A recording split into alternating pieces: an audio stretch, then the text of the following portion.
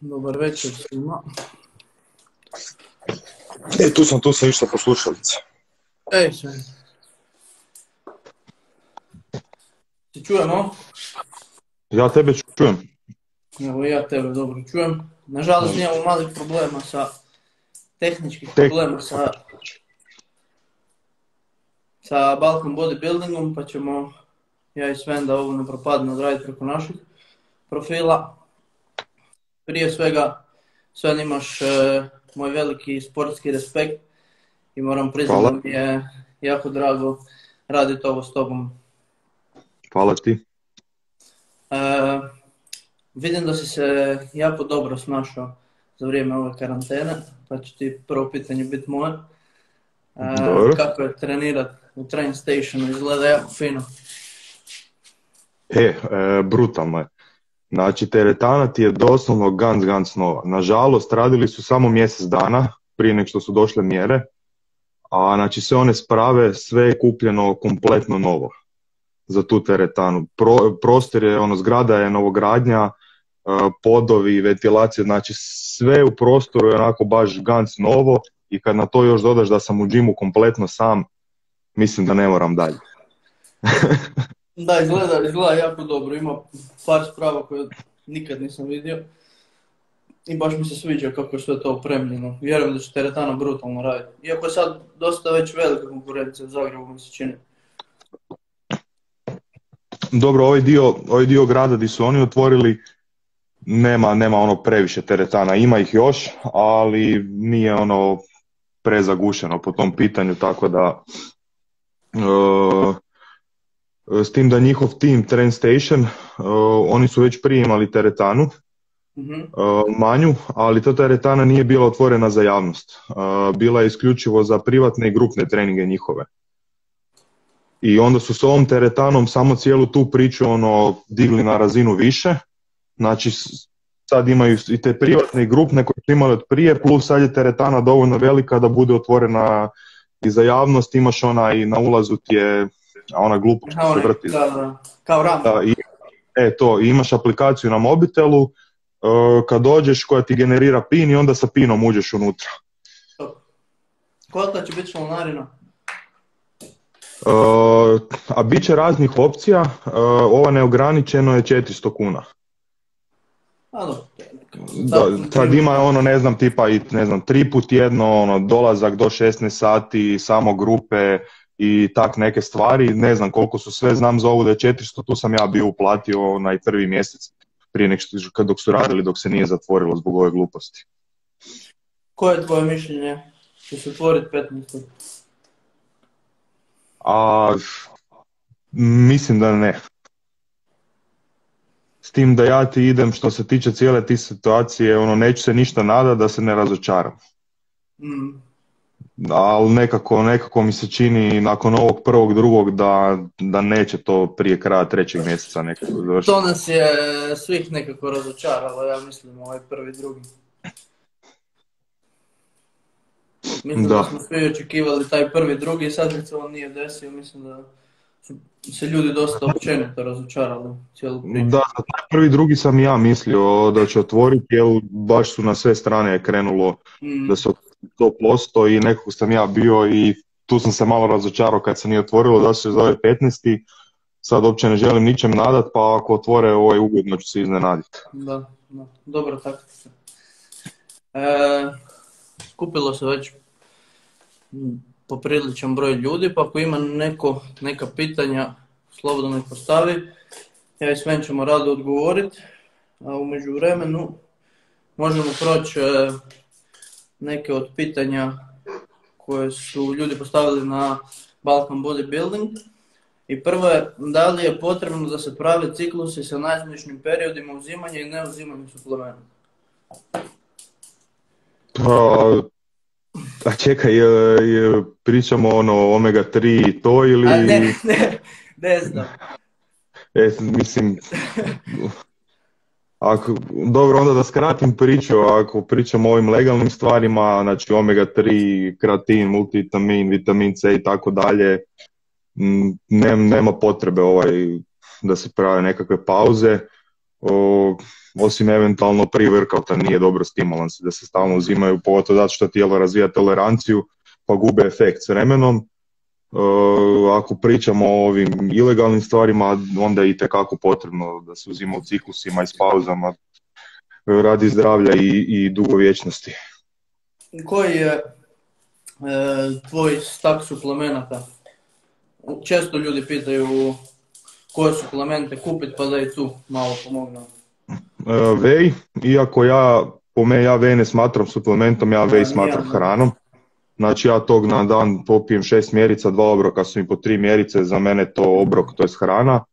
E, osim toga, e, omega 3, 5 grama na dan, vitamin D3 10.000 jedinica, vitamin C 3 grama, NAC isto 3 grama N-acetilcistin, Uh, onda imam neki milk thistle kompleks, uh, njega popijem uh, tri kapsule, ZMA dvije kapsule, mislim da me to ispadne 400 magnezija, 50 cinka, čili ne sam ne zaboravio.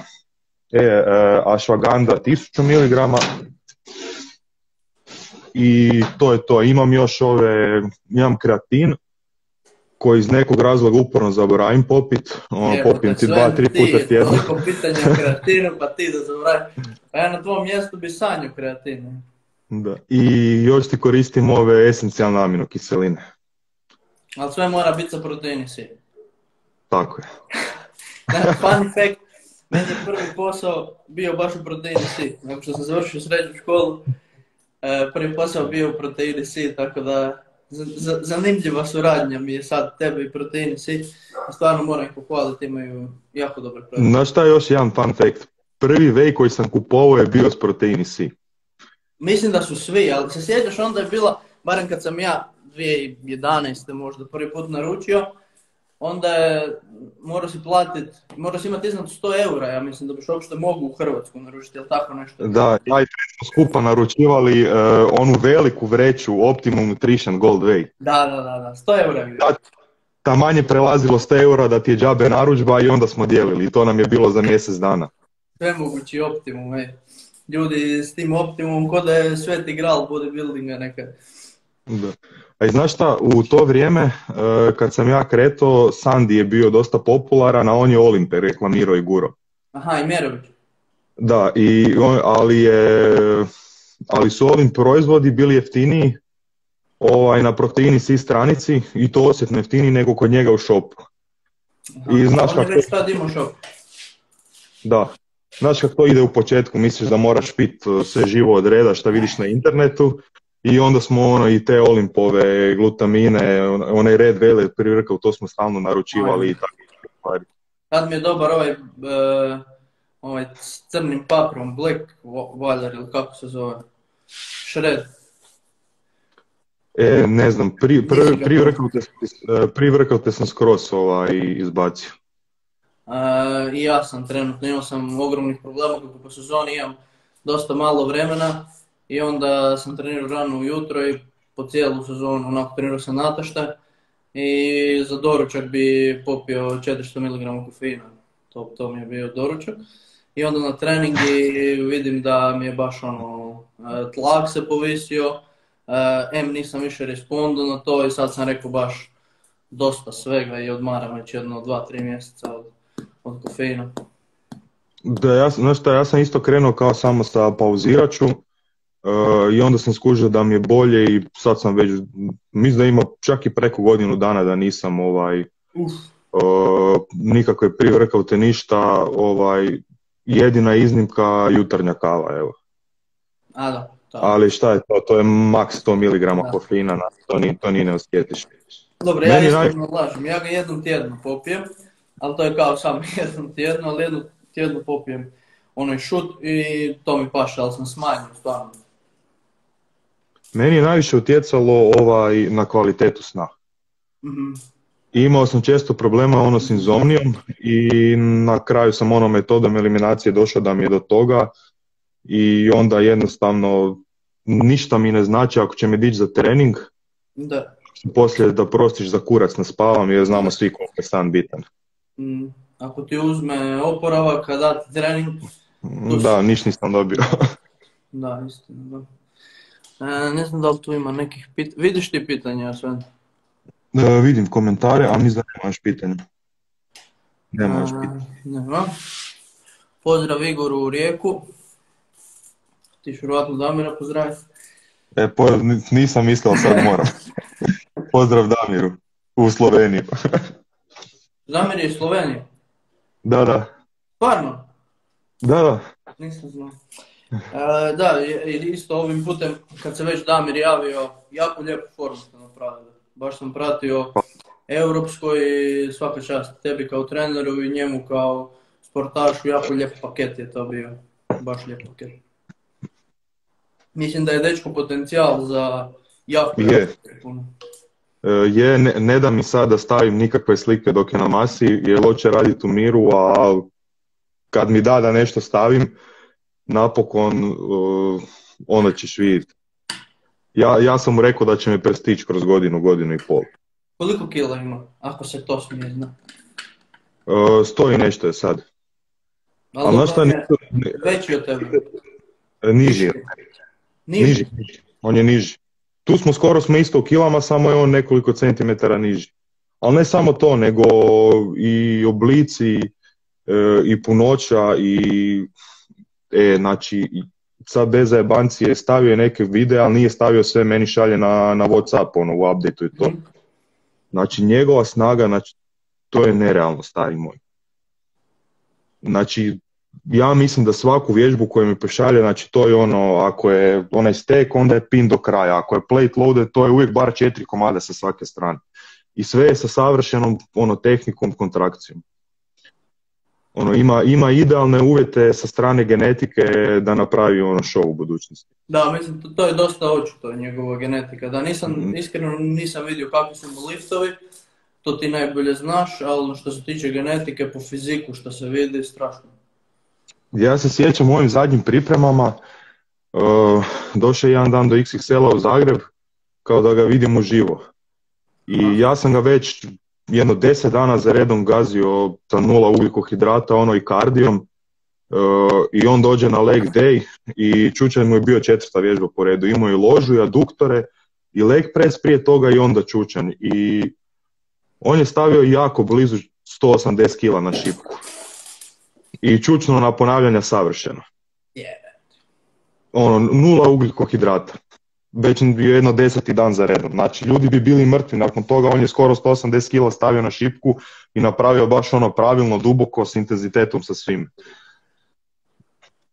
Da, to je, to je, sa, ko je bio na zero carb, mislim da zna šta priča, šta pričaš, jer mislim da sa 300-400 grama ugljikohidrata nije teško čučnut, ali kad imaš zero carb Kad čučni, to je ono, to je strašno. Mislim, ja sam mu rekao, meni se ne bi dalo auto sjest na 0 grama ugljikohidrata i doći do tebe u Sloveniju, kamoli onda još čučan ide.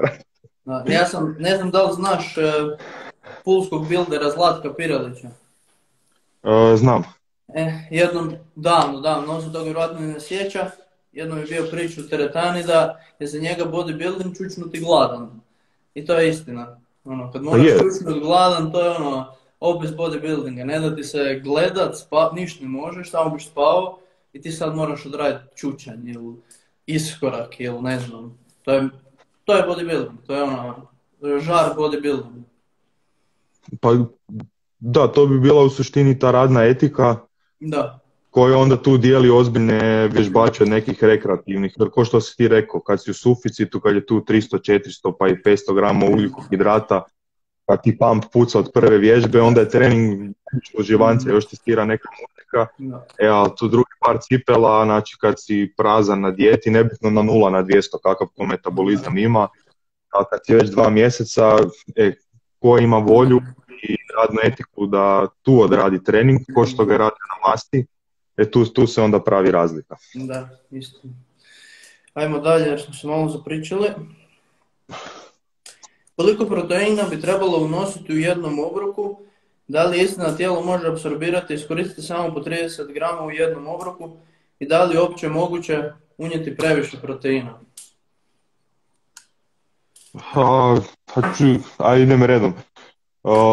Moguće unijeti previše, s tim da višak proteina, to je aminokiselina, tijelo pretvara u glukozu i koristi energiju, a neka granica gdje bi unos proteina postao e, baš opasan za zdravlje, a nije da je nemoguće dosegnuti, ali to bi se stvarno neko morao potruditi da sam sebi naškodi zdravlje, ali to bi bilo to bi prvo financijski bilo skupo da se pojede toliko mesa na dan da uneseš količinu proteina koja će bila opasna, ne znam, eto, da neko uspije jest valjda kilu proteina na dan šest mjeseci ili više za redom, onda bi vjerojatno i bilo neke štete na bubrege a i, ili tako nešto, ali, ali čisto sumnjam da će neko doći do te količine. Da. E, za, za 30 grama po obroku to nije istina, to je mit e, koji je davno razbijen, kako je došlo do njega ne znam, ali to je individualna stvar, znači nije isto, ne znam, za početnika od 80 kila, za nekog naprednji nego 100 kila, puno stvari igra u ulogu, sami intenzitet treninga, e, natural ili ne natural, tako da to je mit. E, šta je još bilo? Gornja granica neka? E, da, da li je uopće moguće unijeti previše? Da, to sam rekao. Da. A to je to, mislim da se sve rekao.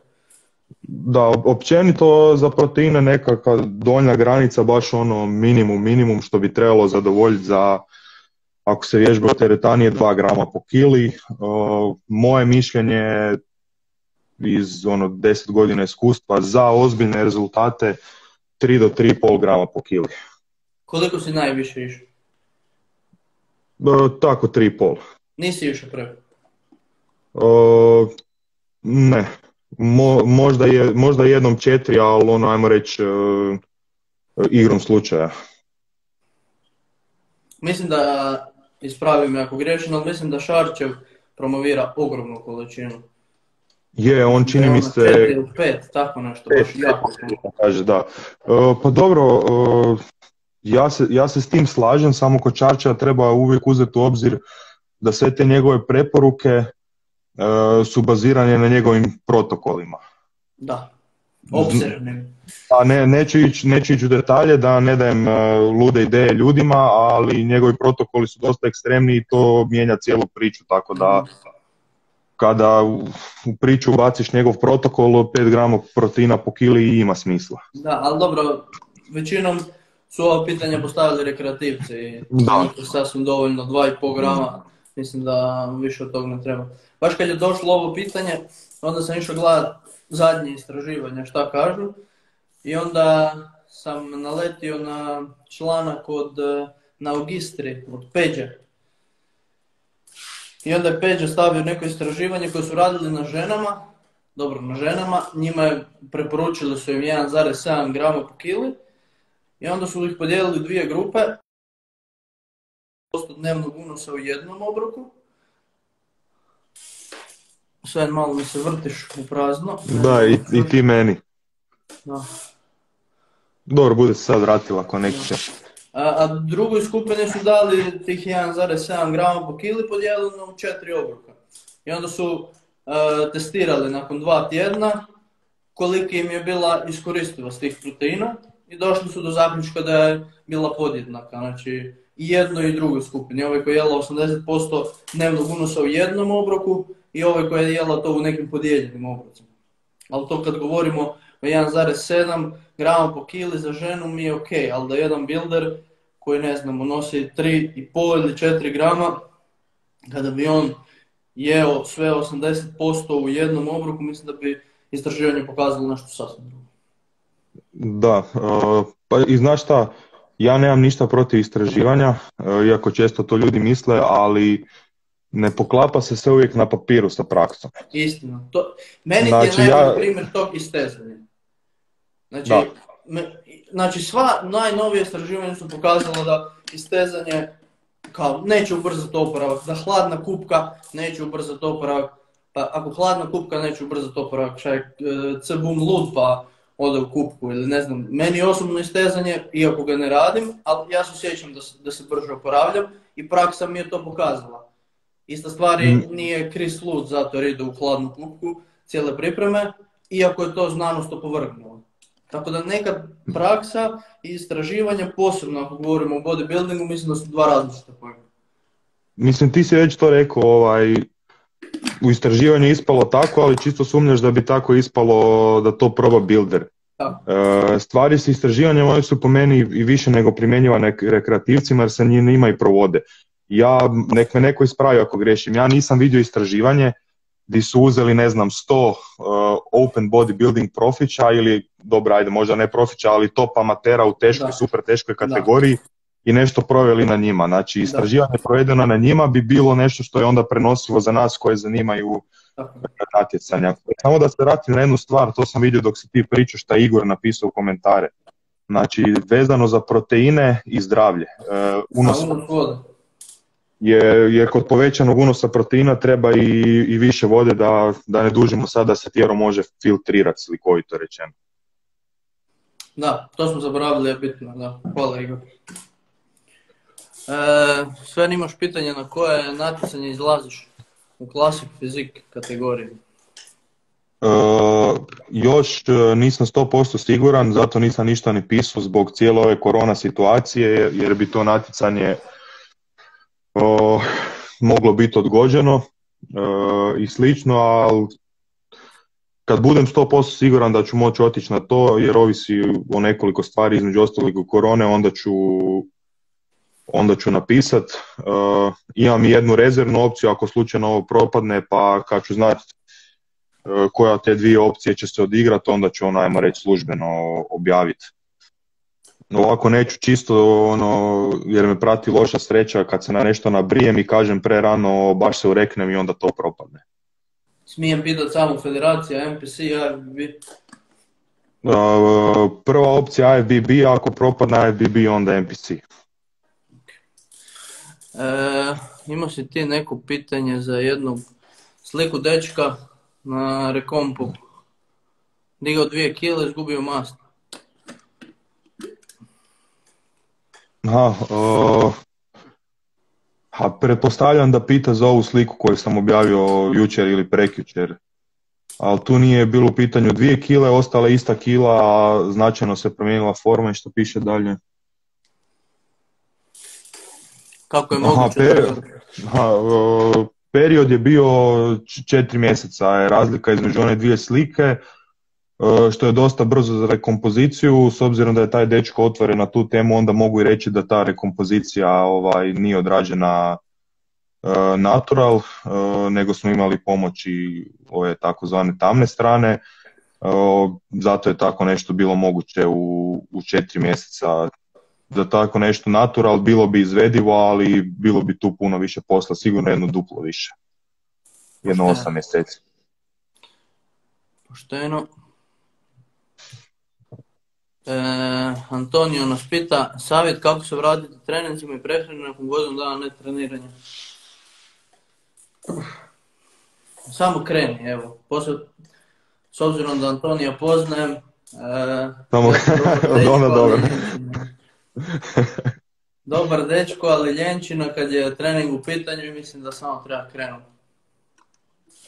E, pa, nešto slično sam objavio neki dan jer ono uvijek je, uvijek je ta neka ono znanstvena fantastika oko, oko povratka u trening. Kad uzmeš pauzu, bilo namjerno naše ono ili prisilno sad zbog ove korone, ako si ostao bez džima, onda ne znam, ono, pišu sad moraš full body, onda moraš ovo, ono, ali meni je to doslovno samo kreni. Ja sam na kraju 2019. e, namjerno uzeo pauzu od nešto manje od mjesec i pol i kad sam krenuo trenirati nazad nakon toga, znači samo sam se vratio. Mm. To je to, na, ok, nisam išao prvi trening, ruši stari rekord na bench pressu jer nakon šest tjedana si sigurno slabiji, ali odradio sam istim intenzitetom koliko sam mogao. Bože moj, prvih 10-15 dana sam bio u, upaljen ko budala jer je tijelu bilo šok, nakon toga se tijelo adaptiralo i nastavilo se dalje. Jedino di bi posebno pristupao ono povratku u trening je kad bi neko bio jo, znači, izbačen iz treninga ne svojom voljom nego zbog ozljede. Ono, da baš bude neka teža ozljeda u pitanju, recimo, ne znam, ruptura zadnje lože, pa samo tri mjeseca ti treba da možeš početi nekakvu rehabilitaciju raditi, pa još tri, četiri mjeseca rehabilitacije, e u tom slučaju bi onda krenuo oprezno, polako i gradio bi se nazad kroz trening program, ono ko da sam opet krenuo ko početnik pa prema nekom naprednjem vježbaču. Dobro, Antonio nam nije ozlijeđen, Antonio nam je samo lije. Tako da Antonio mislim da je najbolji savjet da samo krene i mislim da općenito tu ljudi e, dosta kompliciraju da li ću ići push pull legs, da li ću ići e, bro split, da li ću ići upper lower, upper lower 1, 2.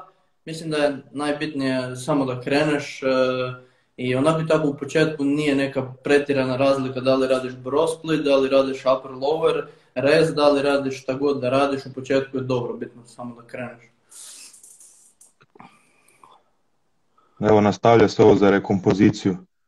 E, nisi mi konkretno rekao kako je uspio sačuvati tjelesnu šezinu mišića, skinuti samo masti, kako se to može postići. Znam da je kalorijski deficit glavni 2 grama proteina po kili. E, pa ovdje je, bilo, ovdje je bilo ono što sam ranije rekao, znači nije bilo 2 grama proteina po kili, nego što sam rekao za ozbiljne rezultate, bilo u pitanju skoro 3,5 grama e, proteina po kili. E, što se tiče rekompozicije, znači nije da ja sad imam neku tajnu, pa da ti ne želim reći tajnu kako se ona radi, nego ona je vrlo picka, moraš biti precizan i moraju se uvjeti prilagoditi toj osobi. Znači nema nekog layouta da ja tebi sad dam kardio prehrana trening i da ti napraviš rikomp. E, ono što ja uvijek kažem za rikomp, rikomp nije za 90% ljudi. Znači za rikomp e, moraš biti posvećen bodybuildingu do te mjere da ti je bodybuilding znači prioritet u životu, da je trening bitniji od kave, da je obrok bitniji, ne znam, od, od igranja igrice i slično. Znači, ako ti je na redu obrok, stopirat ćeš igricu, učenje, šta god da radiš, ićeš, e, ićeš pojest obrok, nećeš propustiti trening zbog kave ili nečeg drugog e, i slično. Znači, da bi se rekompozicija izvela općenito, to ti je glavni uvjet. Znači, bodybuilding ti mora biti e, prioritet u životu, i zato kažem da ona nije za 90% ljudi jer im nije prioritet, što nije ništa loše, ali u tom slučaju jednostavno neće pogoditi sve stvari kako trebaju za rekompoziciju i više manje će se vrtiti u mjestu i od manjka rezultata će se demotivirati. mm Tako da za većinu ljudi preporučam znači ono klasičan pristup, odradiš masu, pa odradiš definiciju i tako krug. Jer ćeš na taj način vidjeti rezultate i ostaćeš motiviran i kontinuirano. Ovako ako ulaziš tu rekompoziciju, a da nisi spreman psihički, a i da nemaš uvjete da ti bodybuilding može biti prioritet broj jedan u životu, više manje ćeš se vrtiti u mjestu i neće to ispast baš nešto. Uh, imate svoje omiljene klijente ili nekog nad kojim ste najviše impresionirani? A mislim da svi mi imamo nekog svog koji nam je omiljen, samo to baš ne govorimo u javnosti. Pa ne znam, mislim da mogu reći da se niko neće uvrijediti. Meni je trenutno sva ekipa ovako općenito super. Baš sam neki dan komentirao s jednim drugim ovaj friendom isto u bodybuildingu kako ono što se tiče posla mi je trenutno baš dobro jer ono imam, imam odličnu ekipu, ali da se osvrnem na prošlu godinu mogu izdvojiti Damira kojeg smo već spominjali i Marka njih dvojicu koje sam spremao za Binu jer su me o, baš impresionirali su me jednostavno voljom za rad koji imaju. Znači obojica su obojica su se spremili i ostvarili jako dobar rezultat. E, unatoč tome što imaju vrlo zahtjevne poslove za raditi, ono radili su ponekad i preko 10 sati na dan, a nikad nisam čuo od njih ono da su preskočili trening, da nisu ponesli neki obrok sa sobom, da nisu odradili kardio, da su preumorni ili slično. Jednostavno, koja god prepreka da se desila zbog posla ili nečeg sličnog, oni su sve napravili, to sam ja rekao i to me baš evo impresioniralo.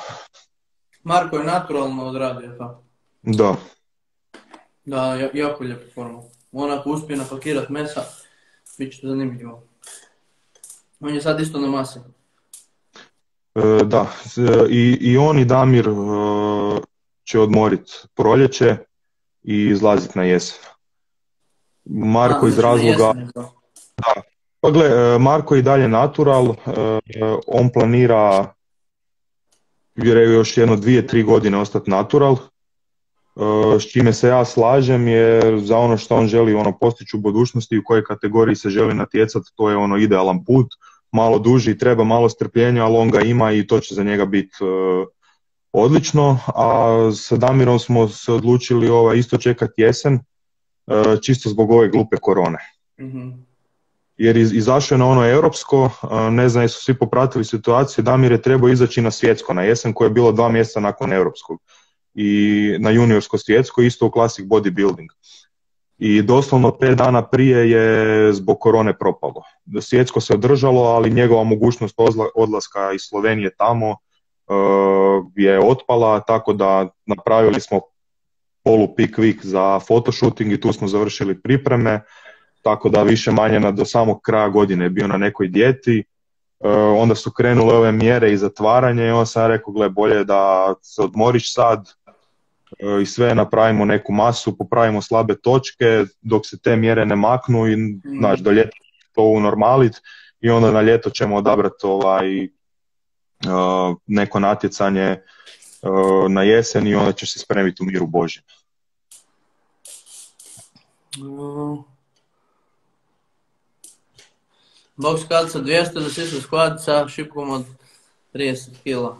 Ja, mislim da kilažu ništa ne može kupiti nijedna tehnika, posebno u ovom omjeru. Iskustvo sa potresom. Uh,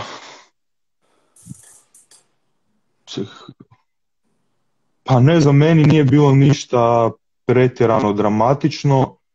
E, prvi razlog jer sam u prizemlju, drugi razlog jer je stara zgrada sa puno armature pa se nije previše treslo.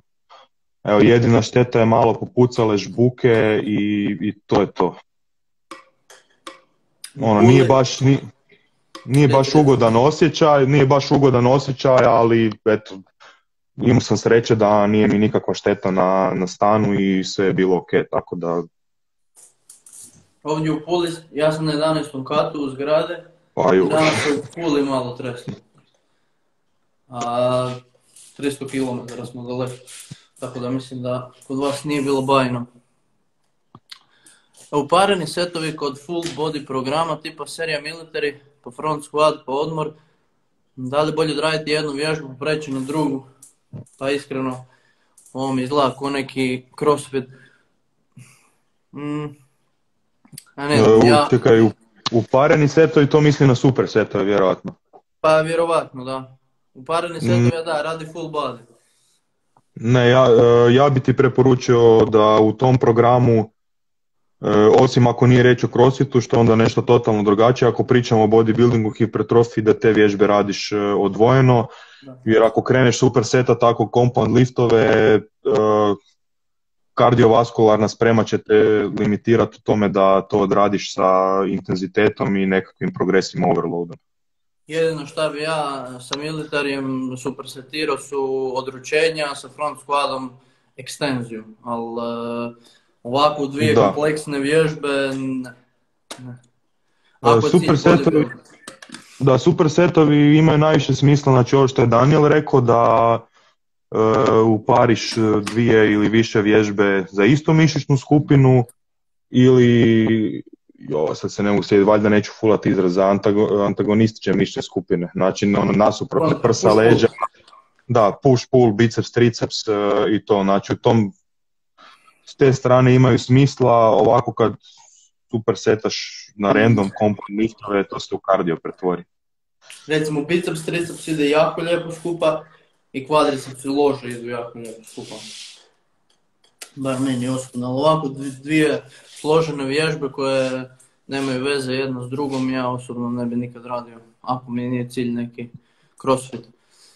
E, imamo još tvoje rekompozicije sve što piše općenito mm. period definicije bazira se na kalorijskom deficitu ukoliko želimo sačuvati mišiće.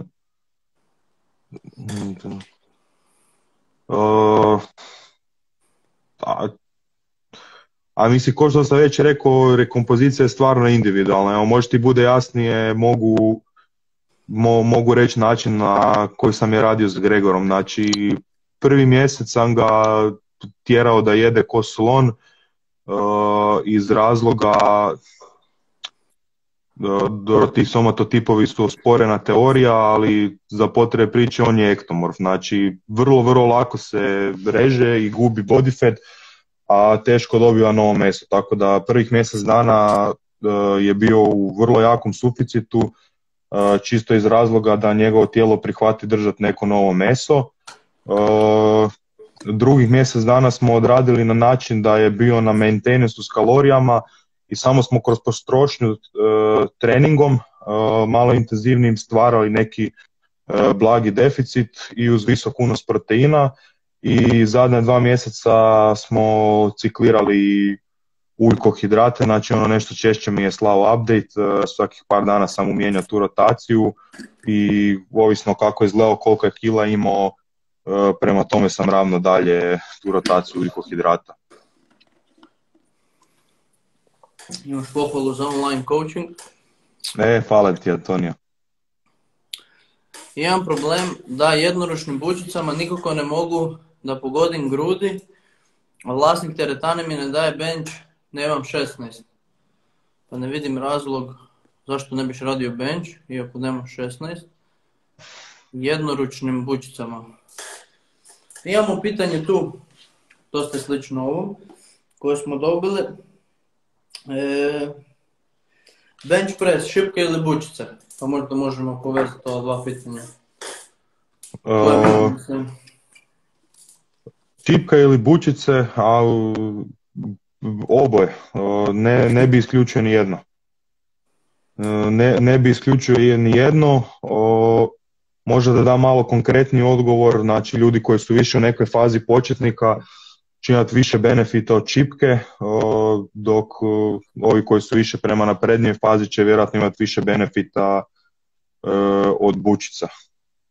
A konkretno što se tiče ovog dečka koji je pitao, mislim da on ne radi ništa krivo, nego ko što je sam rekao ima 16 godina, vlasnik mu ne da, da radi bench press čipkom, iz toga pretpostavljam da je tek krenuo u teretanu, da dobiješ taj osjet u mišićima, takozvanu mind muscle konekciju, jednostavno treba vremena. Nismo ni ja ni Daniel, niko drugi, ono čim smo krenuli u teretanu da smo imali taj feeling do kraja od samog početka. Ja se sjećam ono kad sam krenuo tek nisam mogao napraviti onaj tek pop ono kad s prsima.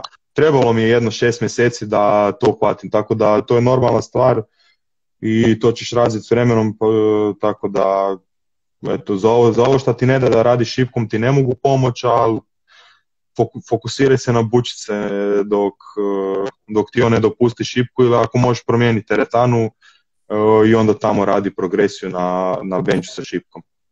Da, mislim da je to baš neka glavna razlika bučice i šipke.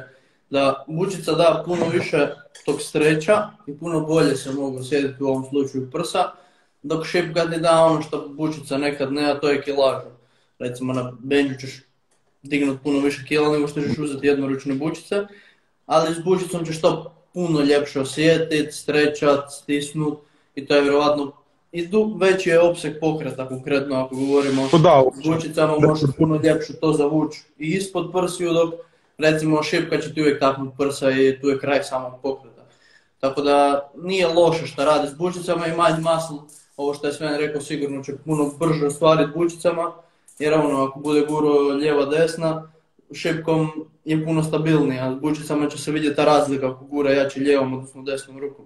Tako da možda nije ni loše da radi bučicama, bolje će povezati mozak i mišić. Znaš di jedino postane problem s bučicama? E, kad si već duže u igri i kad imaš ozbiljniju snagu, ne znam, najveće bučice koje sam ja imao priliku koristiti su 50 kila XXL-u brate mili, to je živa muka da dovedeš u poziciju da benčeš s bučicama.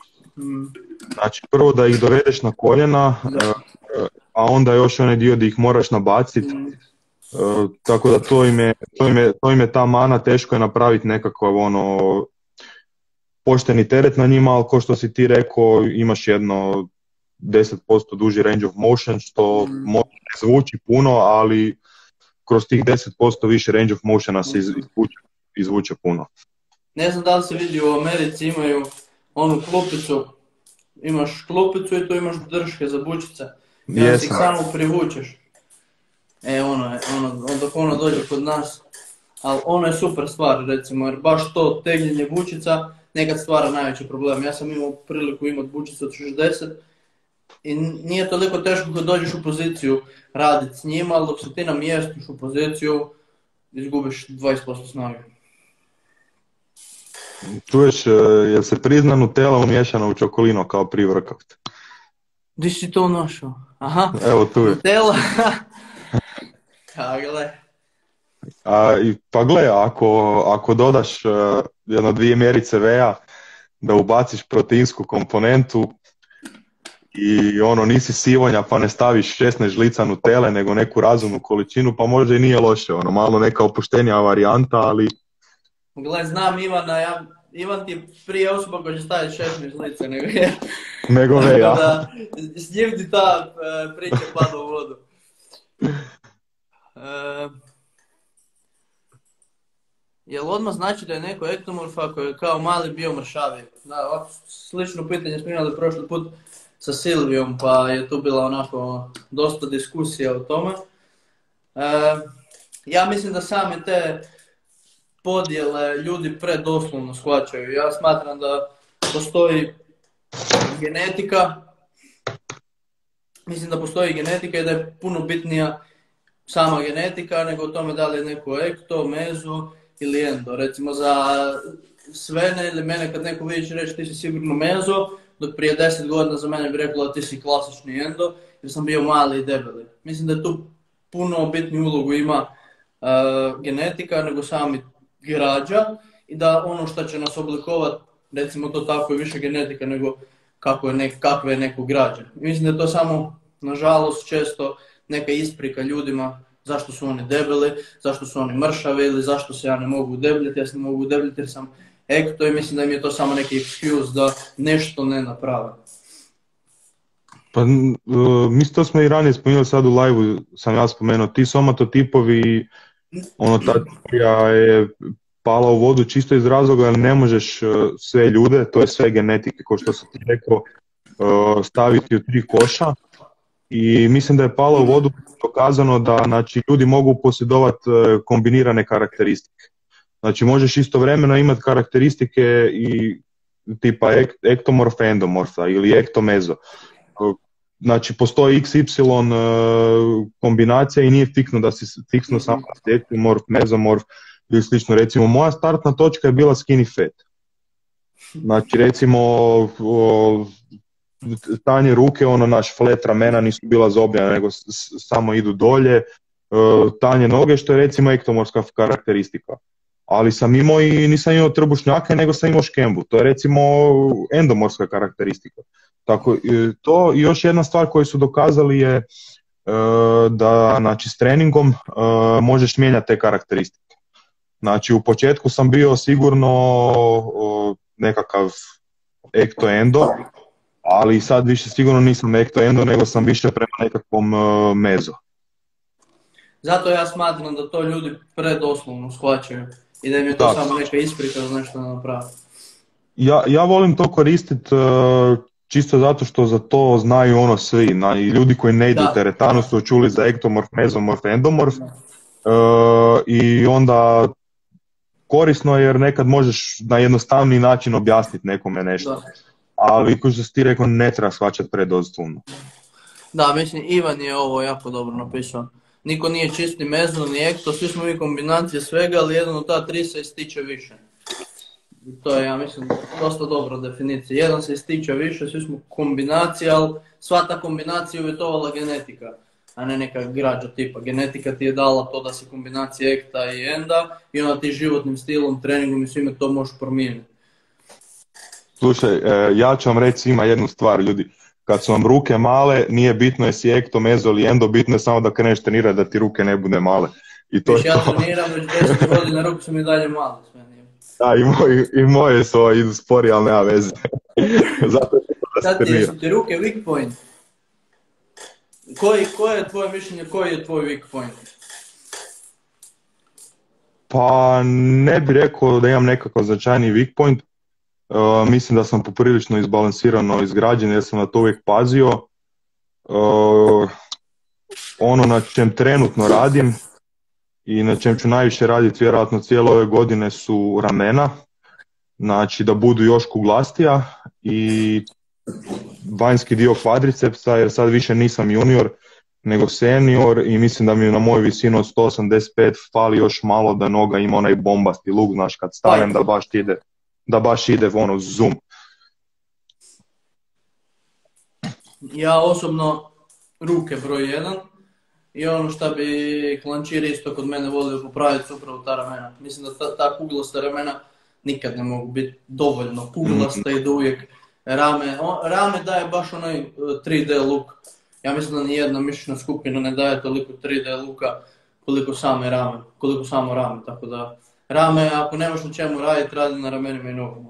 To je uvijek, uvijek, uvijek, je, uvijek će biti poželjno. Recimo Rejmijeva noga s ove Olimpije, meni je ono nestvarno. On kad stane u bočne poze, ja ne znam gdje je kraj toj nozi.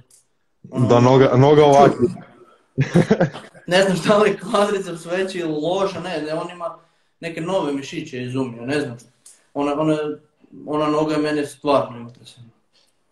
A znaš šta, e, kad imaš dobar taj sweep i ono kuglasta ogromna ramena, evo kad si spomenuo pero, ko što pero recimo ima.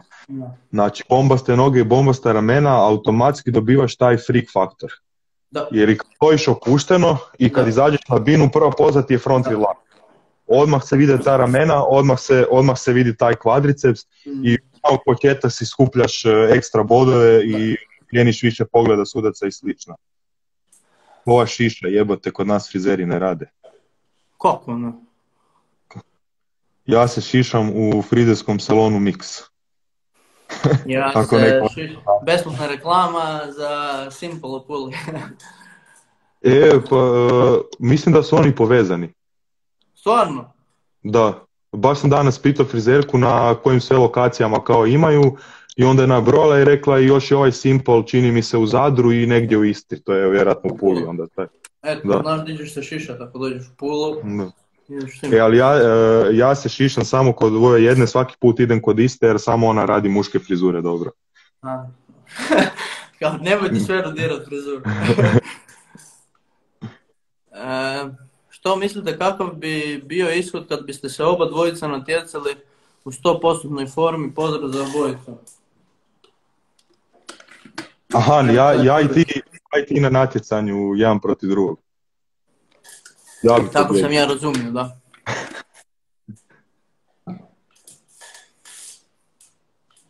Jesi, jesi čuo šta sam rekao da se izgubilo? Nisam, nisam čuo, reci.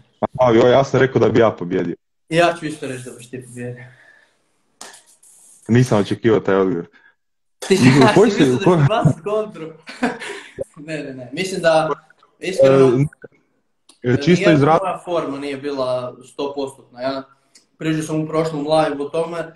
Ja sam nažalost imao dosta loših trenera prije Pere i bio sam po dva do tri mjeseca na zero carbsima.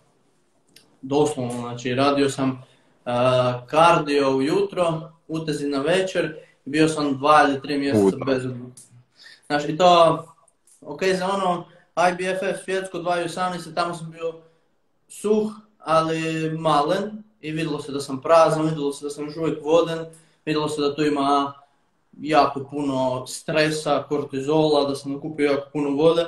I to nije se vidjela ona svježina. I mislim da još ni jednom nisam izvukao svoju 100% formu, nažalost jer sam imao, ajmo reći to tako, krive ljude koji su me vodili, ali e, zato sam sad 2020. cijelu uzeo pauzu, hvala Bogu upoznao klančira i sad smo puno napravili u godinu dana i kad e, budem izlazio sljedeći put, vjerujem da će to biti puno bolji paket u kojem neću biti tri mjeseca bez ugljikohidrata, e, pa će to izgledati kudi tamo svježije. Pa znaš šta, ja za sebe isto mislim da nisam isto napravio 100% formu nikad, e, čak ni one 2017. kad sam bio baš, baš jako suh, čisto iz razloga jer sam iz te 2017. bio i dosta mal, znači nekakav stage weight mi je bio 91 dvije kile kad izuzmemo na stranu to što sam ja sad još malo rušio kile da prođem vagu za onaj uh, classic bodybuilding, tako da to mi se znaš ono ne broji. Dosta je lakše, osjetio sam da se dosta je lakše biti suh kad si mal. Ja sam se za taj klasik uh, mogao poprilično zgazit i s kardijom i sa unosom ugljikohidrata da prođem tu vagu, a ostati dalje ono svjež jer nisam imao toliko mišića. Dok sam kasnije, kad sam izlazio u veću kategoriju, u juniorski bodybuilding, uh, sam imao sličnih problema kod ti. Tako da za ovu godinu mi je cilj da, da napravim nekakvu 100% formu gdje ću imati na sebi i nekakvu značajnu količinu mesa i, i, i dobru mišljenu definiciju.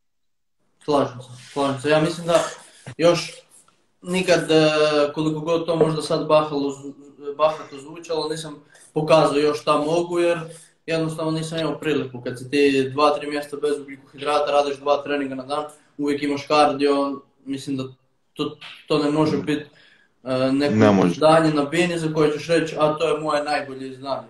Tako da razlog te pauze je da se te loše stvari poprave i da kad se izađe, se izađe svježi, puni i bolji. Možda se nekad i sretnemo na bini pa ćemo vidjeti. To piše, dođite, nemam bokserski trening, pa da vidimo da li ćete izdržati. Joj, ove najviše volim. Je to neki tvoj friend ili... Ne, ne, to ti je dečko koji se ja išao na boks, išao sam za kardio, jednom pripremam za boks i on iz prve ruke mogu može reći da ništa ne mogu, tako da. E, opravdanje komentar. Opravdanje komentara sam stvarno umro, je. Ja sam, ja sam prije karate trenirao tako da nema me u startu otpisati. Tam mi, se, tam mi sad ovo isko... Evo ga, dobro.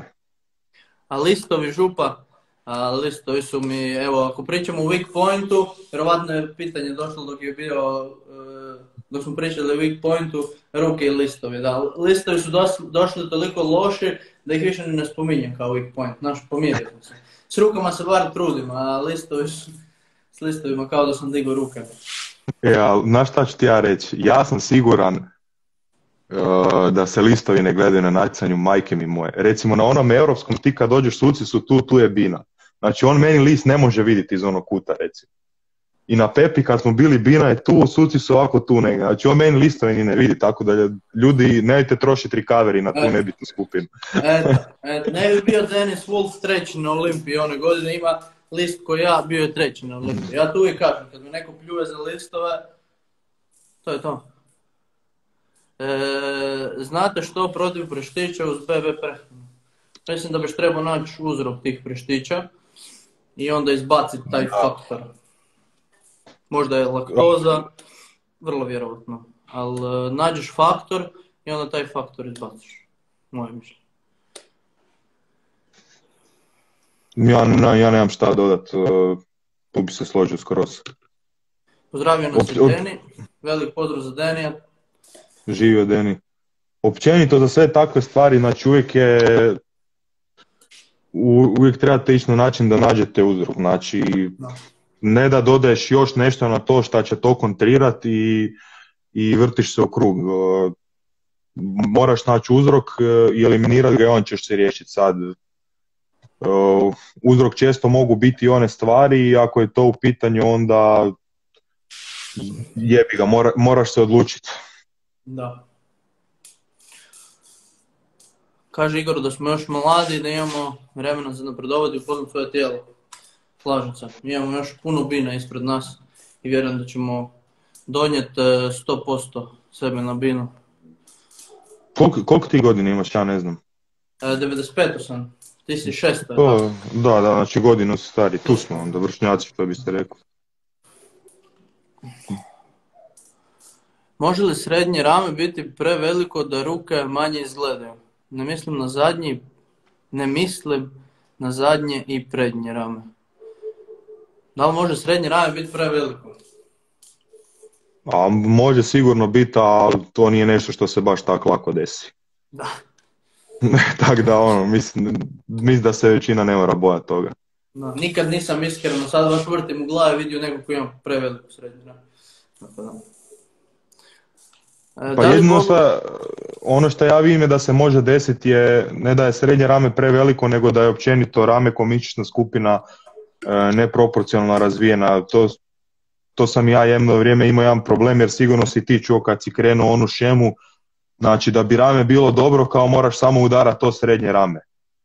I onda ono kao prednje radi s prsima, zadnje radi s leđima i ti sinko samo udaraj ovo srednje rame. Znači, I onda radiš odručenja dok e, ne poletiš E, I onda, da, I onda nešto napraviš i od srednjeg ramena i ono ima onu lopticu sa strane, a srednje i zadnje nemaš. I onda se možda i čini da je srednje rame preveliko, ali nije stvar toga da je srednje rame preveliko, nego ti, ti je zadnje i prednje rame premalo. Posebno stražnje rame. Mislim, ra, stražnje rame daje baš onaj dojam 3D-a, meni je to predivno vidjeti. Tu, tu veliku glavu uh, stražnjeg ramena i jako, jako je rijetka jer gdje većinom ljudi ne rade posebno. Da. A... E, ovo je dobro pitanje. Pročitaj slobodno. E, da li je ok svaki trening raditi potpuno drugačije vježbe i drugačiji tempo od prošlog treninga ili raditi identičan trening neko vrijeme pa promijeniti? Kreni ti. Da li je ok svaki trening raditi potpuno drugačije vježbe i drugačiji tempo od prošlog treninga? A ja mislim da ti je ključno raditi progresiju. Znači ja bi si uh, odabrao vježbe na kojima mogu raditi progresiju. Ako možeš na pet različitih vježba raditi uh, progresiju, ok, ali ja bi rađe, ne znam, ako ću raditi za noge glavnu vježbu čučanj, trudit ću se raditi svaki put progresiju na čučnju. Ako ću raditi uh, za prsa bench, trudit ću se raditi progresiju na benchu. Tako da bojim se da kada bi se svaki put mijenjala ta glavna vježba, bi došlo do tog da ne biš mogao više raditi, odnosno ne biš radio progresiju. Možda neko bi, ali meni osobno znam da kada bi svaki put mijenjao sve vježbe, da bi jako teško radio progresiju i mislim da je tu progresija ključ i mislim da to ljudi često zanemare i mislim da trening koji donosi rezultate, na koje imamo progresiju, ne treba mijenjati. Dok god nam on daje progresiju, sigurno ćemo napredovati, sigurno ćemo rast i to je jedino bitno. Da, ja mislim da e, ljudi nisu svjesni činjenice znači da mišići ne rastu od, e, od šokiranja nego od adaptacije. A ako ti konstantno nešto mijenjaš simo tamo lijevo desno, nemaju se na šta adaptirati. Znači takav pristup treningu da ti stalno nešto vrtiš i mijenjaš i to ima svoje mjesto i vrijeme, ali da to ga trebaš doći. Znači to je na razini na kojoj još niko od nas u ovom live nije, znači tu pričamo o nekom poput Pere, a Pere je pet razina iznad svih nas. Znači, da bi mogli tako trenirati, ili recimo kod Dexter Jackson, moramo proći sve ovo ispod. Znači, ne, nema, nema preskakanja koraka. U ovoj fazi gdje smo mi svi sad, treba se držati neke fiksne selekcije vježbi i raditi progresiju i onda vježbe rotiraš kada dođe do nekakvog platoa ili, ili zamora. I zato ovo što si ti sad radio u SBD Logs, meni je to predivno. Znači imaš tri ključne vježbe, njima se trudiš raditi progresiju i odlično povremeno ubaciti, super. I mislim da su svaki, da li rekreativac, da li napredni vježbač, e, zanemare taj segment kompleksnih vježbi i raditi progresiju upravo na njima. Mislim da se previše filozofira, dođemo na trening nogu pa se radi ekstenzija i fleksija i ne znam, e, neki leg press, da se zabravi iskorak, da se zabravi bugarski, da se zabravi čučanj, pa idemo raditi prsa, pa se radi, ne znam, deset varijacija, round the wall, ne znam, milion vježbi, a zaboravi se da li gurnuti teško buđice, da li napraviti teško ravni bench. Mislim da to je stvar koju većinom e, početni vježbači zaboravljaju raditi progresiju na ključnim stvarima, na ključnim vježbama.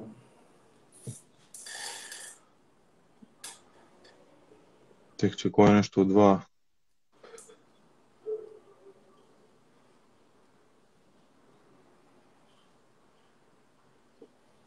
Si razumio ti ovo pitanje? Ovo za listove? Aha. Da, to je za listove. Čak i ako stavi manje kila. Ja ne znam kako ne uspijevaš odgurat, ja nemam taj problem, jedino što mi pada na pamet je da se već nakon prve serije listovi jako upumpaju, pa da je jednostavno pump toliko bolan da ne možeš ono do kraja se dići na prste ali u tom slučaju mislim da bi to mogao riješiti time da istežeš listove između serija.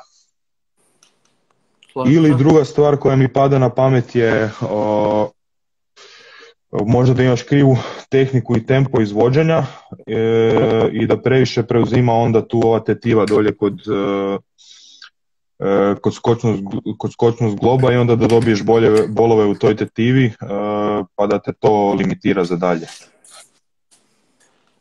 Pozdravio nas je Teo, znaš ko je taj dečko?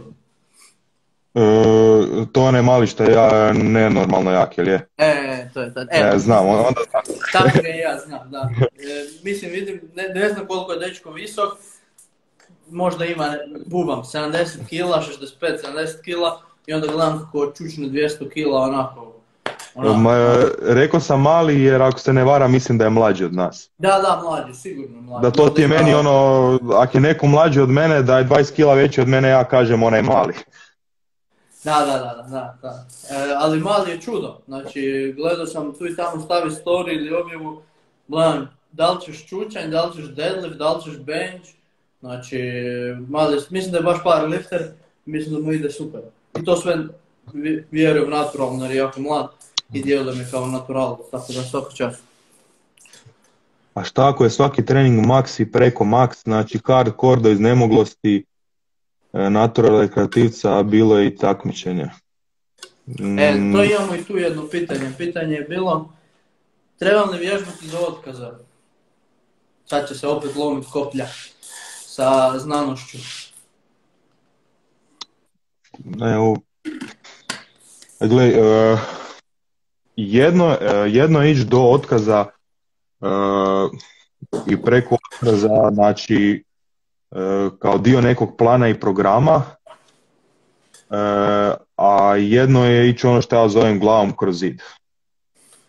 I, i, i samo ganjat kosivanja neke kilaže i slično. Znači, ne možeš svaki trening strušiti rekord, bilo da je one rep max ili u 6 to 10 rep range i slično. Trening, trening do otkaza ima svoje mjesto i to je bitan faktor u treningu za hipertrofiju, ali znači to mora biti e, planski periodizirano. Kad imaš fazu nekakvog takvog treninga, onda ne radiš, e, ne radiš prije toga teške trojke na čušnju, nego imaš jedan, eventualno dva radna seta u nekakvom rasponu od 6 do 12 i odradiš tu seriju ono dok ti se oči na crvene i tu si gotov, ideš na sljedeću vježbu. Nemaš tri, četiri radna seta di se gaziš skivanja. Ali općenito, kad smo se već dotakli tog vježbanja do otkaza, moje mišljenje, ono što vidim u teretanama je da ljudi nisu ni blizu tog otkaza. Nego da stanu, imaju još pet ponavljanja u rezervi i on stane zato jer kao, neću ići do otkaza. Mislim da ljudi, kad moram tako reći, treniraju većinom po pičke i meni to užasno smeta. Znači, jako rijetko vidim da je neko stvarno došao do otkaza, da mu je spoter uopće trebao, da je nešto napravio. Nego svi kao, a neću do otkaza, pa kao se pazi, imaš deset ponavljanja u rezervi. To je, slažem se da ne treba ići glavom kroz zid, ali mislim da je puno više onih koji se pazi nego ide glavom kroz zid. Uh, znaš šta, kod, kod treninga do otkaza, uh, znači prvo trebaš proći jedan dio staža u teretani, Uh, da bi uopće imao sposobnost gurnut se, gurnut se do pravog otkaza ili prave serije preko otkaza. Evo neki, to sam nedavno imao, kako sam onim SBD logovima koje si spomenuo, opisao sam ono E8 koji je bio RP za pojedini lift.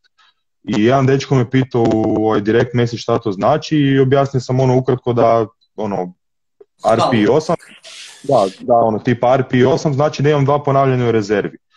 Na što me on pitao kao u stilu zašto taj dan je bio RP7, to su tri ponavljanja u rezervi, kao zašto treniram, zašto treniram kao lagano.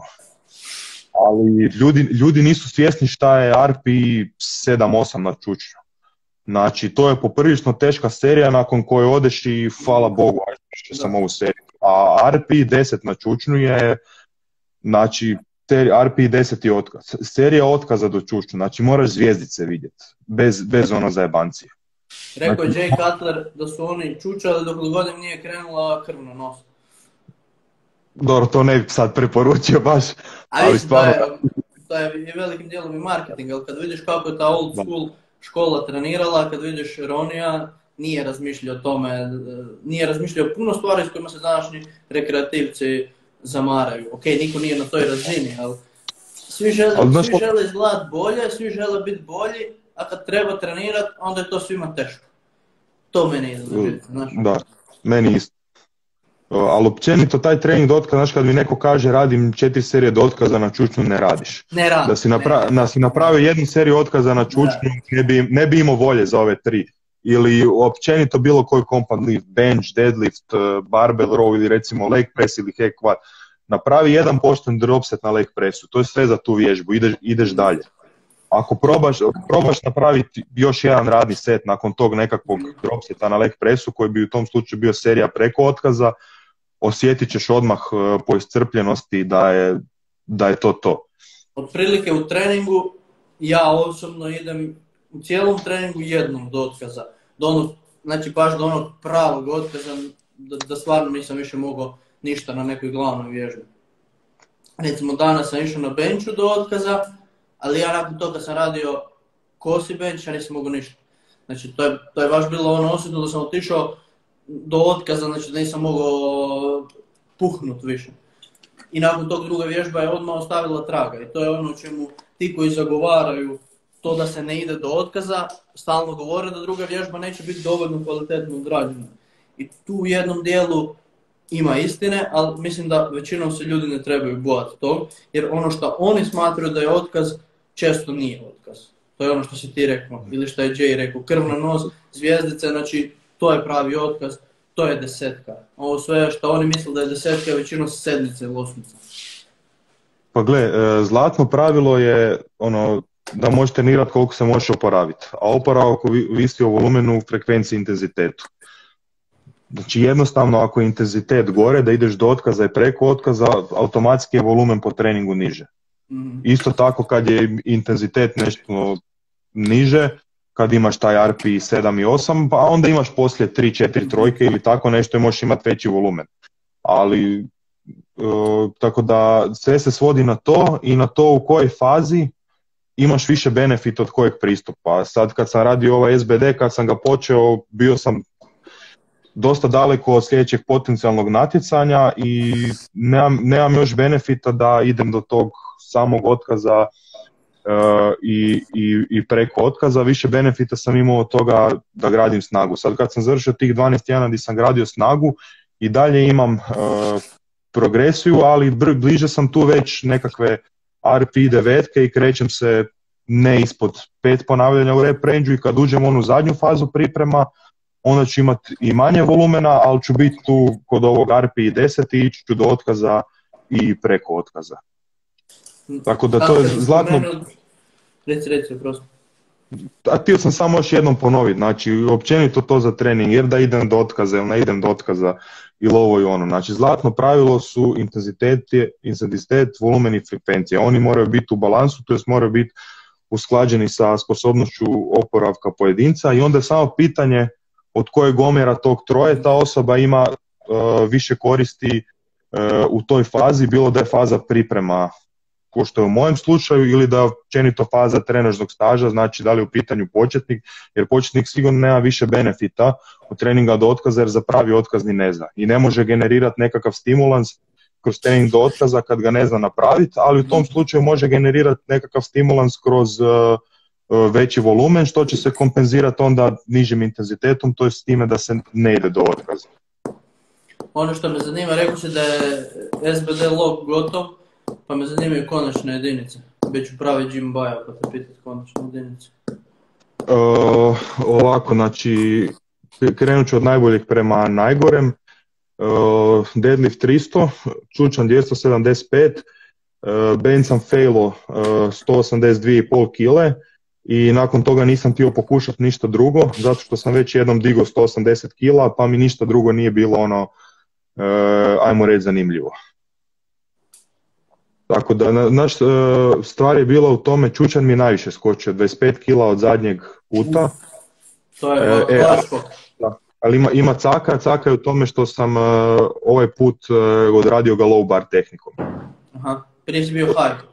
Da, odlučio sam to probat e, i čak mi se svidjela više ta low bar tehnika jer evo tih high bar sam najviše digao 250 kila, ali tih 250 kila prijatelj imao sam ošće da će mi kičma kuknut. mm Slow bar tehnikom držao sam 275 kila na leđima i sjećao sam se poprilično stabilno. Uh, tako znači da, pozicija šipke, jako puno. Puno, puno. E, ali to što sam dobio na čušnju uh, sam popušio na benču jer mi low bar pozicija i ono guranje lakta ispod da se stegnem ubija ramena i ovu tetivu radijalisa uh, i onda sam već na benču na nekakvih, s obzirom da kod SBD-a za one koji ne znaju, čučan, bench ide nakon čučan, znači ide čučan, bench deadlift. Uh, dok odradim taj čučan i dođem na bench, ramena i dio radijalisa su rastureni, i već na 150 kila počinjem biti po, po prilično A kada je u pitanju unrep max lift, nemaš mjesta da budeš klimao, moraš tegnuti i, i super brejsan. Tako da nastavit ću slow bar čušnjem jer mi se sviđa.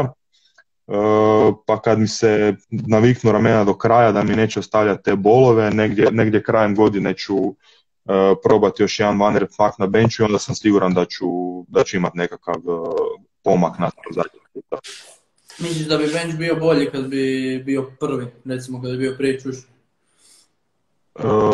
Da, ali mislim nije da ne bi bilo fair, ali zna se kojim se redom ide i e, neću reći da nisam razmišljao, jesam, ali na kraju sam odlučio ovaj, odraditi kako je po pravilima. Jer u slučaju da recimo odlučim službeno si postaviti neke rekorde, morao bi izaći na nekakvo powerlifting natjecanje ići tim redom, tako da ono, iako nisam bio na natjecanju, ne bi tehnički bilo varanje, e, znam da bi mene proganjalo.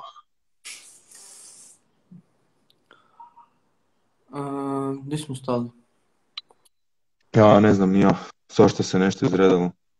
Po vama pet najboljih suplemenata, mislim da smo to prošli, no? Pa da, rekli smo šta pijemo. Da. E, općenito se zavralja vrijednost treninga, priča se suplementaciji, kemiji hrane, a trening se daje kao zdravo za gotovo. Potpisujem svako. Ja isto. E, to je, sad, sad mi je otvorio temu koju mogu pričati do sutra. Da, da, da. A mislim, mislim da je glavni problem ono, tu kod nas. Ono, ja sam baš pričao sa frendom neki dan, on je rekao E, jebote ovdje se ljudi hvale kad imaju 100 kila na masti, pa ko je to kur? A to stvarno, ali ako, a stvarno ako pogledaš prije par godina nije bilo ovih, dobro nije baš prije par, ali prije nije bilo mens fizika i to, znači tu nije bilo rata, ćeš ti biti builder ili ne, znači ili si bio velik ili promijeni sport. Da, ili si velik ili promijeni sport i to ako si nizak ovaj, ne igraš baš za NBA. Da. Bilo je Get Big or Die Trying. To je kad, kad sam ja počinio bio neki mi glavni logo, nije bilo fizika, nije bilo ničega. Ili ćeš biti builder ili ćeš igrat čak. Nije bilo baš A s tim da nećeš ni igrat čak ako si krenuo u bodybuilding, ono na da. prvo mjesto. da. E, realno pravi otkaz na čučnju je pet puta teži u svakom smislu nego otkaz na benchu. Je. Evo. To je. je je, znači čučanj otkaz je prođete život pred očima, a bench nekako samo ne ide. da li je dobro na svakih, na primjer, šest mjeseci uzeti odmor od 10 ili 15 dana i ako je, da li u tom odmoru treba hraniti isto kao i tokom treniranja? Pa dobro je. Dobro je malo za kosti, za zglobove, za puno ljudi za glavu ja čak ne bi, mislim, za rekreativce stvarno potrebno vjerovatno totalni odmor. Ja bi samo napravio neki deload vježbu od tri put tjedno i smanjio i volumen, intenzitet i radnike laže, napravio neki deload. Meni je jako teško za psihu uzeti totalan off, nekad bi bilo jako dobro, posebno za rekreativce, ali sigurno je dobro. Znaš šta kažem ljudima, isto da naglasim kad su u pitanju rekreativci. Ti ako si kontinuiran 6, 7, 8 mjeseci kroz godinu i sad ti dođe da ideš na more 2-3 tjedna, znači neće ti biti apsolutno ništa te pauze. Pod mhm. uvjetom da imaš kontinuitet. Ako imaš kontinuitet ti možeš uzeti tu pauzu 2-3 tjedna na moru ili ne znam, općenito nekom putovanju zbog čega god da želiš uzeti pauzu, nakon tog se vratiti najnormalnije u džim, opet biti u kontinuitetu i to je to. A što se tiče prehrane u to vrijeme, ako već uzimaš pauzu da bi se odmorio, onda ne bi išao ni s nekakvim posebnim filozofijama prehrane, znači jednostavno iskoristi zdrav razum, nemoj se, nemoj se prejat, nemoj svaki dan pojesti dvije pice i, i šest sladoleda, normalno počasti se i s nečim, ali sve u nekoj granici razuma i ta dva, tri tjedna će to osvježiti, nakon ta dva, tri tjedna samo se vratiš u stari režim i, i to je to. Slažem se.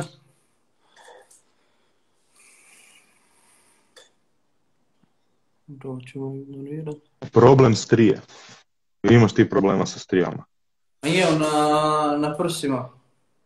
Mislim tu Ja ne- cijeli, za ovaj, to su ovaj dio oči. mi je. Da. da. Ja, ja iskreno nemam rješenje za to, nikad nisam probao nekakve kreme. Ja Ma sam ja ono ne želim negdje... imati rješenje. Ja, ja, ja gledam kao na, na svoje ratne ožiljke i iskreno to kad isto. dobijem novu striju, više sam ponosan nego tužan, tako da znam samo da, da rastem i to mi je ono, mislim da nije potrebno se toliko opterećivati s njima, onako i tako ću s vremenom pobijeliti, ništa strašno. Da li mislite da postoji neka granica body fata koja se treba držati off seasonu? Da, E, da, ja bi za gornju granicu stavio 15. ja isto. Nekad ta off sezona baš bude onako kod nekih ljudi, baš se vidi da su off. Mislim da se to nikad ne bi trebalo vidjeti. E, imamo tu još nekih pitanja pa možemo što pa pomalo i, i Može. Idemo ispucati još par komada i onda ćemo, onda ćemo okončati. uf, kardio. Kardio koliko? Au. Da, baš sam našao. Kardio koliko, kada i to, a dobro, to je, to je često pitanje, to sigurno i tebe ovako pitaju, ono, ili u teretanu ili negdje, ono, ali ljudi, to je tema da bude zaseban live za sebe. Da, da. Mislim, Tako zgodan, da- alat, e, zgodan alat ako ti treba, možeš i bez njega. Dobra stvar za natuć e, deficit. Ako bi morali skratiti, ja bi to rekao. Evo, evo samo kratki primjer da ljudi vide koliko je individualno. Znači, kad sam spremao i Marka i Damira, obojica su bili u super formi. E, Marko je radio neke minimalne količine kardija, ja mislim da najduži kardio koji sam mu dao je bilo pola sata i to je bilo u zadnja dva tjedna kad je uzeo godišnji. Pa čisto ono da ne leži cijeli dan doma. E, a s Damirom smo išli i do sati pol na dan. Tako da evo, do te mjere je individualno. Znači, dvije osobe E, oba dvije u classic bodybuilding kategoriji, e, oba dvije u super formi, jedna gotovo da nije radila kardio kroz pripreme, a druga se poprilično nakardijala. Dobro, tu je opet, ja mislim, realno je dosta bitno da li neko natural ili ne. Onaj, ko je natural, puno... Da, to je isto, ali to, to, mi isto, to mi isto spada u ovu nekakvu individualnost. Da. To jest, to, ne individualnost, nego jedan od puno faktora o kojima kardio ovisi. I kakav ti je metabolizam, e, kakva ti je dnevna rutina. Gle, ako neko ima fizički posao 8 do 10 sati, a taj baš i neće raditi kardio kad mu je cijeli posao kardio.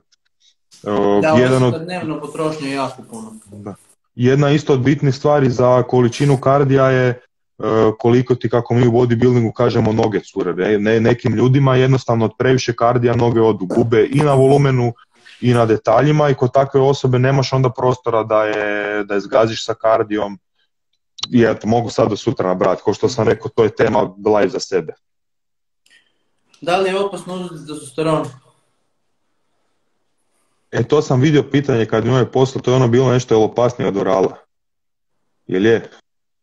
Da, Nešto tako je. je. Pametniji nego ja s mobitelom sve. Da. A, pa ne, ne, ne mogu definitivno reći e, da je zdravo.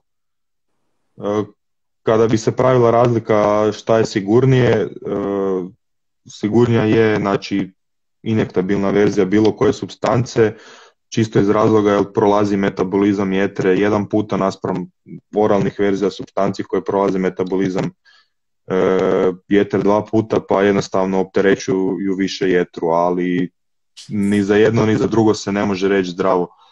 E, da je zdravo, ja, ja bi to više nazvao e, nužno zlo u profesionalnom sportu. Možda pita za ovu, za TRT, znači testosteron replacement therapy. E, ono što je tu problem isto su nekakve zablude oko doze za taj TRT. Znači 250 do 300 mg testosterona tjedno nije TRT.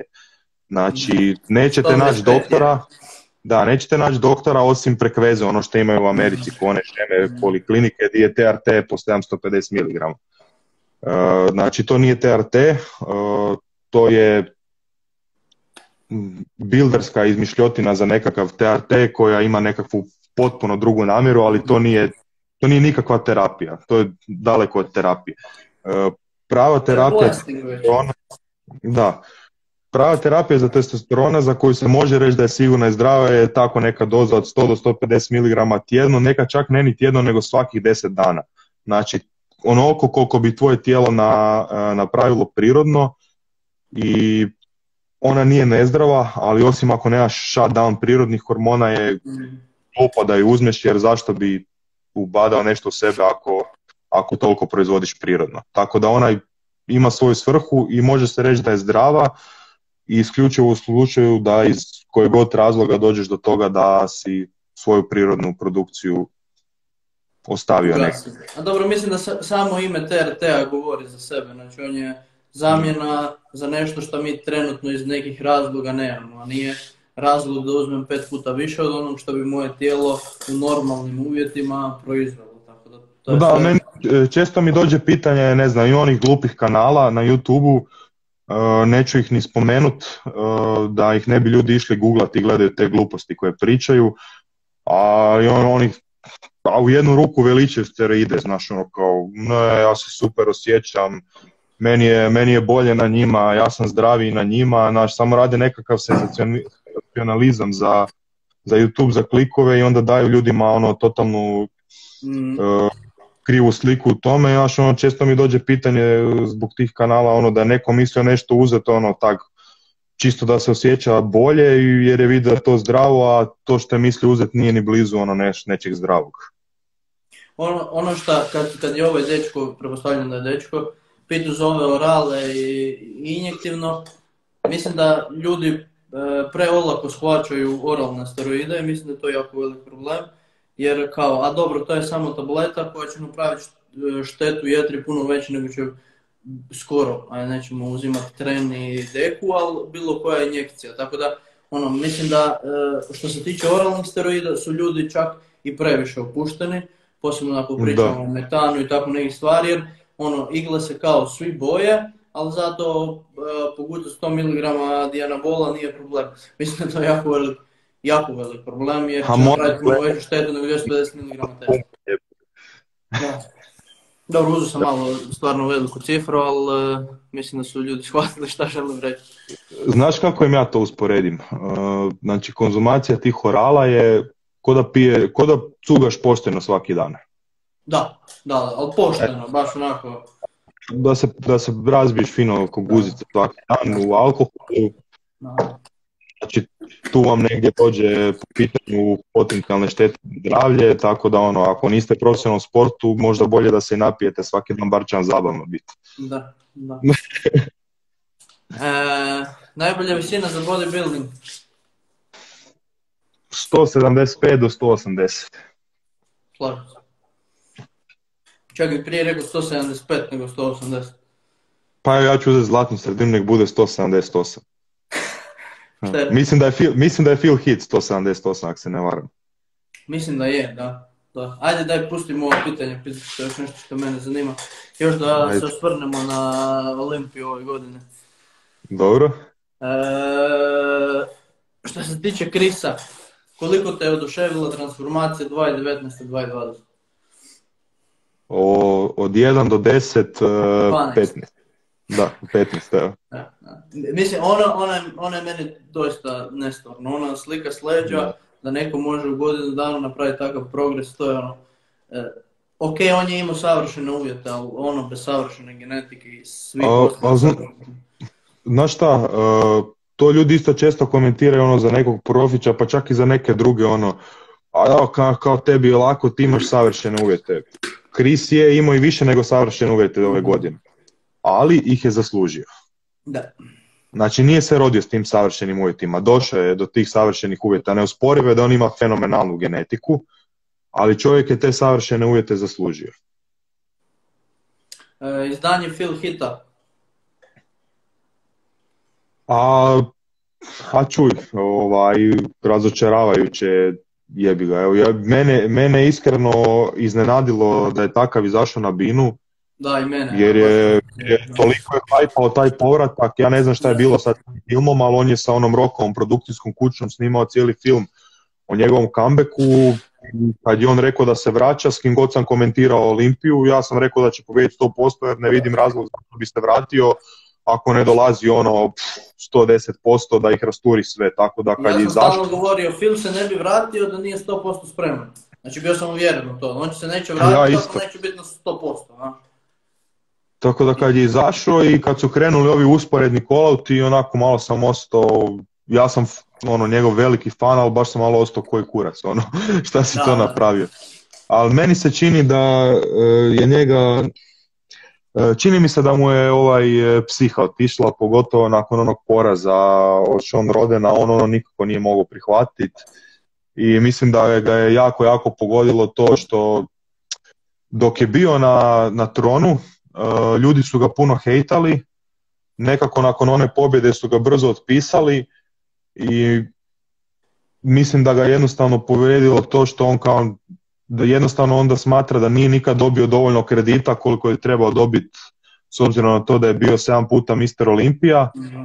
i da im je htio ono svima dokazati suprotno ove godine, ali da jednostavno više nije, više nije bio šampion u glavi, da, više nije imao taj mentalitet.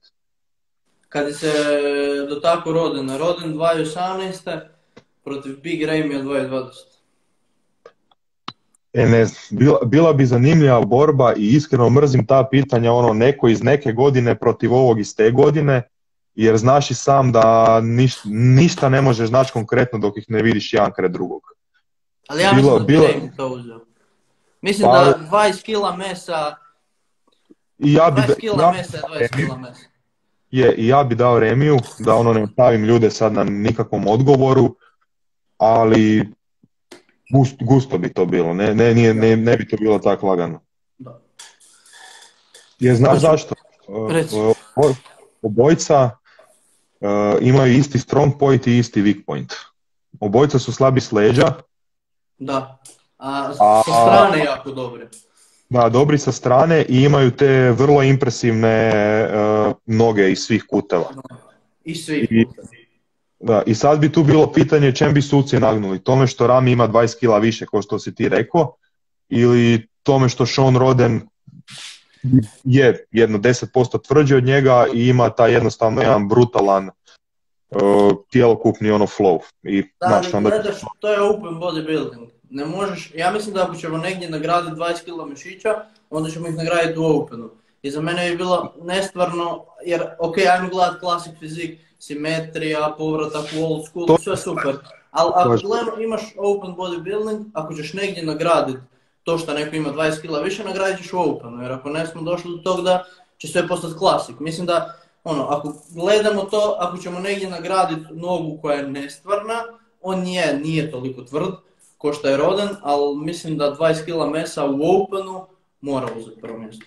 men- mislim, meni se, znači, uh, ono baš mi se svidlo kako se odvila cijela Olimpija ove godine, jer mi se čini da su izrazili taj nekakav jasni standard uh, između tog klasika i bodybuildinga. Jer ono unazad dvije godine malo su ono kao a, malo su previše krenuli ono pridavati pažnju nekakvoj estetici, to što si Da. ti rekao u open bodybuildingu, ono to sa Sean Rodenom i Brandon Curryem, ne kažem da su oni nezasluženo bili prvi, ono ne diskreditirati njih ništa, ali to što ti rekao, ako će se negdje nagraditi 15-20 kila mesa više, to, to treba biti e, u openu, isto ko ako će se negdje nagraditi flow i linije, to treba biti u klasiku, zato mi je recimo bilo drago što je tipa e, Terence bio plasiran ispred Boreona.